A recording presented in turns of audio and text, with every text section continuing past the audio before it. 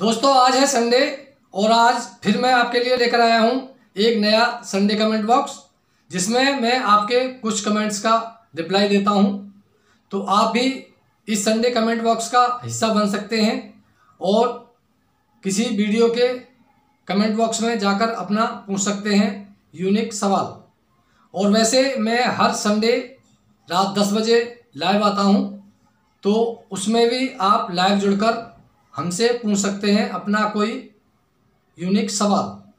तो दोस्तों, मैं हूँ लीला सिंह और आप देख रहे हैं यूट्यूब चैनल अलाइनमेंट गुरु तो हमारे चैनल को अभी तक आपने सब्सक्राइब नहीं किया है तो प्लीज़ सब्सक्राइब कर लीजिए और बेल आइकन को भी प्रेस कर दीजिए, ताकि आपको गाड़ी से संबंधित नई नई जानकारियों की वीडियो मिल सके। तो आइए दोस्तों, शुरू करते हैं आज का पहला कमेंट बॉक्स और आज का सबसे पहला कमेंट लिखने वाले हैं जितेंद्र मालवीय। और ये लिखते हैं, सर, मेरी गाड़ी के चारों ही टायर घिस रहे हैं। क्या समस्या है? बताइए। दोस्तों नॉर्मली गाड़ी के चारों टायर ही घिसते हैं, लेकिन आगे के टायर कुछ जल्दी घिस जाते हैं। और उनकी कुछ वजह होती है। तो सबसे पहली वजह होती है कि गाड़ी में आगे व्हील अलाइनमेंट होता है। और अगर हमारा व्हील अलाइनमेंट ख़राब हो जाता है तो टायर जल्दी से घिस जाता है। दूसरा वजह होता है, आगे स्टेयरिंग है ब्रेकिंग सिस्टम है, और आपका इंजन का भी लोड आगे ही ज़्यादा रहता है। तो इस हिसाब से आगे का टायर कुछ जल्दी घिस जाता है। इसके अलावा अगर आपकी गाड़ी रियर व्हील ड्राइव है तो पीछे का टायर भी घिसता है, लेकिन आगे के मुकाबले कुछ कम घिसता है। और अगर आपकी गाड़ी की पीछे भी अलाइनमेंट की एडजस्टमेंट है तो अगर पीछे की जो अलाइनमेंट ख़राब है, तब भी टायर पीछे से घिस सकता है।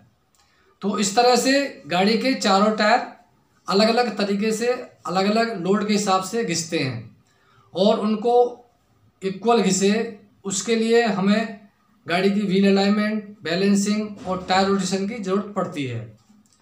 तो अगर आपकी गाड़ी के चारों टायर बराबर घिस रहे हैं तो ये एक अच्छी बात है।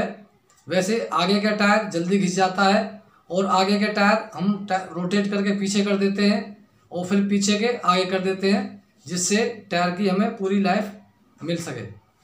तो अगर आपकी गाड़ी के टायर जल्दी घिस रहे हैं तो अपनी गाड़ी की व्हील अलाइनमेंट बैलेंसिंग और टायर रोटेशन करवाएँ और साथ में ये करवाने से पहले अपनी गाड़ी का सस्पेंशन ज़रूर चेक करवाएँ। सस्पेंशन ठीक होना बहुत ज़रूरी है, तभी अलाइनमेंट बैलेंसिंग अपना सही काम करता है। और अगला कमेंट लिखने वाले हैं मानस घोष। और ये लिखते हैं ट्यूब वाले टायर को ट्यूबलेस टायर के रिम में विदाउट ट्यूब के लगाने से कोई प्रॉब्लम हो सकती है। प्लीज़ बताइए। तो घोष जी, वैसे ट्यूब वाले टायर को ट्यूबलेस बनाकर ट्यूबलेस वाले रिम में डाल सकते हैं, वैसे कोई प्रॉब्लम नहीं है, लेकिन ऐसा करना उचित नहीं होता है, क्योंकि जो ट्यूबलेस टायर की क्वालिटी होती है, वो उसी हिसाब से बनाई जाती है, जिससे वो प्रेशर को मेंटेन करके रख सके। ट्यूबलेस टायर में एक लेयर बोटाइल जो मटेरियल होता है ट्यूब का, उसकी अलग से डाली जाती है, जिससे उसकी स्ट्रेंथ और बढ़ता, बढ़ जाती है। प्रेशर को मेंटेन करने की वहीं अगर ट्यूब वाले टायर में जब हम हवा भरते हैं तो हवा जो जाती है वो ट्यूब में रहती है और उसको सपोर्ट करता है टायर। यानी टायर और ट्यूब डबल लेयर हो जाती है और उससे उसकी स्ट्रेंथ और बढ़ जाती है, उसको प्रेशर को सहने की क्षमता और बढ़ जाती है। तो खाली ट्यूब वाले टायर को अगर ट्यूबलेस बनाया जाए तो थोड़ा सा रिस्की रहता है। और ऐसे चांसेस में कई बार टायर फट भी जाते हैं, ज़्यादा हीट होकर। तो ऐसा नहीं करना चाहिए, वैसे वैसे कोई प्रॉब्लम नहीं होती है। तो दोस्तों, आज के ये कुछ कमेंट थे, जिसका मैंने रिप्लाई दिया। तो ये हमारा प्रोग्राम कमेंट बॉक्स आपको कैसा लगा कमेंट करके ज़रूर बताएँ। और अगर अच्छा लगा तो चैनल को सब्सक्राइब करें और बेल आइकन को भी प्रेस करें। वीडियो को लाइक करें शेयर करें।